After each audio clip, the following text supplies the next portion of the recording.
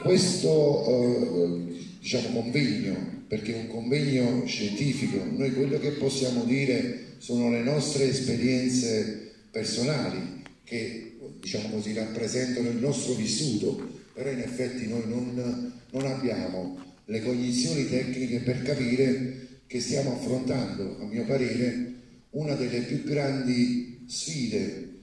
dell'umanità,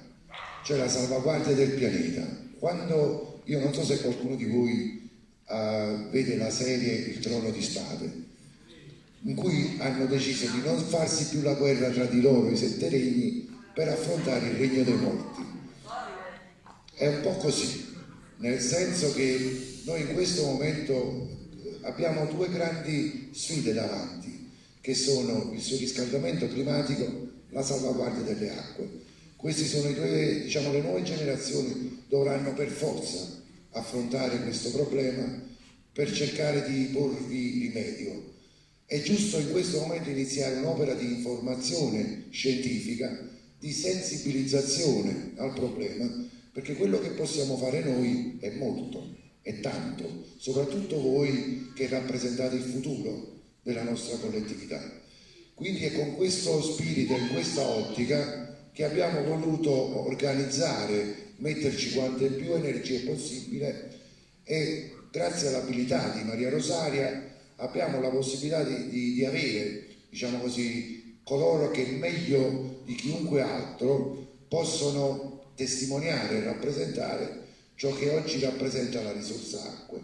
Quando parliamo di, di risorsa acque, non voglio dilungarmi, e devo essere breve, però la, la mia esperienza personale mi porta alla, diciamo così, ecco, a guardare istintivamente quello che è il nostro mare, che noi definiamo Golfo di Napoli, che però se ci fate caso geograficamente è quasi un lago, perché è chiuso da ischie e procida da un lato e dalla terraferma per il resto, quindi alla fine, alla fin fine è quasi un lago. Ora, noi rispetto a questo mare, che una volta era considerato un confine, oggi è una risorsa, abbiamo delle responsabilità, dobbiamo trattarlo come un bambino, dobbiamo cercare di recuperare i danni che sono stati fatti nel passato. Questo è un po' il nostro appuntamento. Io mi ricordo, giusto per raccontare un aneddoto, eh, circa 20-25 anni fa, in un programma elettorale, uno dei tanti che ho fatto, scrissi che uno degli obiettivi della, della nostra politica era il disinquinamento del Sarno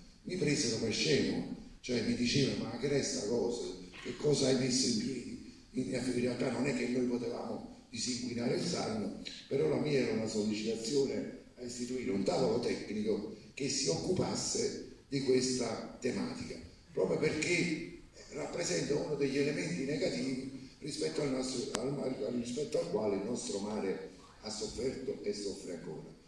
La stupenda organizzatrice Maria Rosaria Cenino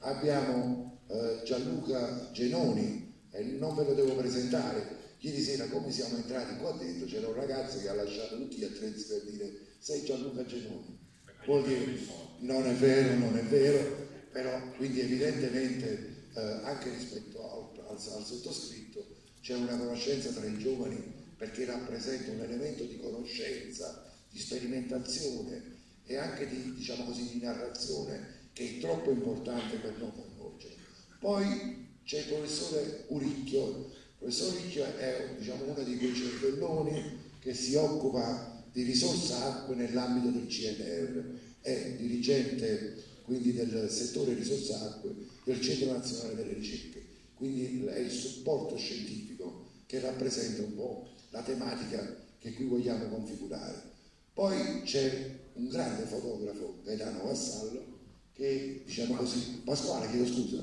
che eh, in effetti racconterà la sua esperienza e quella di altri fotografi dei quali ha raccolto le testimonianze. Lo ringraziamo di essere venuto, ha trovato un traffico bestiale, però comunque è arrivato. Poi da ultimi, ma non ultimi, c'è Luigi Di Brisco che rappresenta la nostra istituzione e anche l'attenzione del comune di Sorrento a quella che è la tematica ambientale, perché lui è un po' il punto di congiunzione fra la politica e quello che si muove sul territorio sul tema. E poi c'è l'associazione Mare Vico con la quale ormai abbiamo un rapporto quasi sinergico e rispetto alla quale diciamo così, c'è questo interscambio tecnico e scientifico che ci sta dando la possibilità diciamo così, ecco, di approfondire gli argomenti, di intervenire sul territorio, di cercare di creare quelle sinergie che poi sono fondamentali rispetto alle tematiche. Quanto più le tematiche sono impegnative, quanto più